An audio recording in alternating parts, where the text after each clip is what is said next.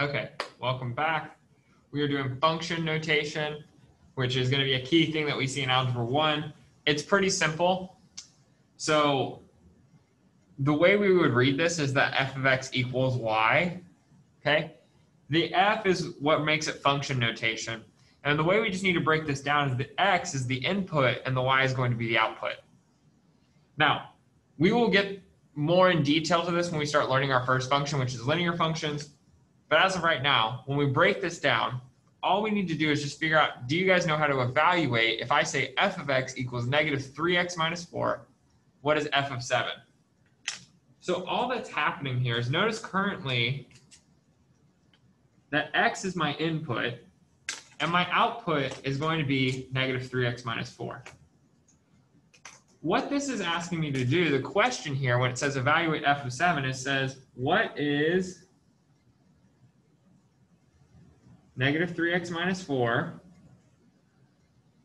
equal to when x is 7. That's what it means when it says evaluate f of 7. So all that's going to happen here is, and I want you to pay close attention, is I have f of 7. What we are doing is we are replacing x with 7. So anywhere that you see an x inside negative 3x minus 4, that's not going to be x anymore. It's going to be 7. So this is what this would look like. We would have negative 3 times, not x, but 7 minus 4. Just like that. And then you just tell me what number that is.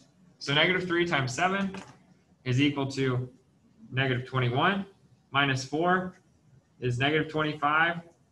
f of 7 is equal to negative 25. And relating this back to the beginning, this is our input, and this right here is our output. That's it. That's all this is. You are just plugging in the number for x, and then you are figuring out what it's equal to. So let's do another example g of x equals negative 3x plus 1. Same deal. Evaluate g of 10. So I'm going to write g of 10. So I'm going to highlight x up here. Everywhere I see a highlighter mark instead of x, I'm going to put 10 instead. So negative 3 times 10 plus 1. That's all we have to do this. Now figure out what number it's equal to. Negative 3 times 10, that's negative 30 plus 1 negative 29. We are done. So g of 10 is equal to negative 29. When I input 10 into this function, I get out negative 29. All right, let's do one final example that's going to be a little bit more difficult. But I want to make you aware of a couple things I'm going to do on this example. So first of all, there's multiple x's and h of x equals 3x minus 2 plus x squared. There's one here and here. So when I want to evaluate what is h of negative 2 thirds, watch how careful I am with this. We get 3 times negative 2 thirds minus 2 plus negative 2 thirds squared. Notice my use of parentheses. And notice that the negative is inside those parentheses.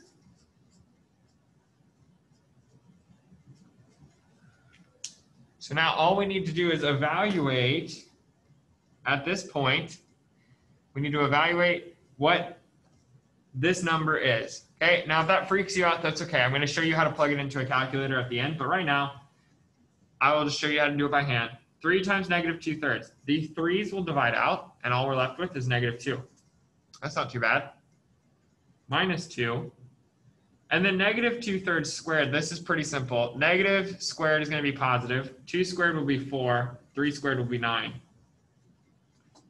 So negative 2 minus 2 is negative 4 plus 4 over 9.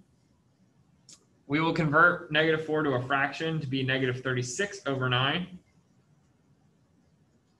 plus 4 over 9. And that gets us negative 32 over 9. So it's a fraction, it's gross, but let me show you how to do it in in a calculator real quick.